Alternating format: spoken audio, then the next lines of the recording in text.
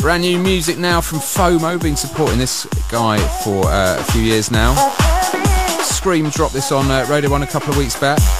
We love this. Foamo, Sherlock.